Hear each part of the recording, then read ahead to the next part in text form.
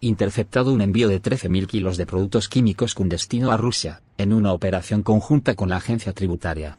Hay cuatro arrestados que presuntamente lideraban desde España un entramado comercial creado para evadir las sanciones impuestas a Rusia con motivo de la guerra en Ucrania. Los arrestos se han llevado a cabo en las provincias catalanas de Barcelona y Girona y se han intervenido 13.000 kilos de productos químicos en un contenedor localizado en el puerto de Barcelona, así como documentación y material informático en un registro domiciliario.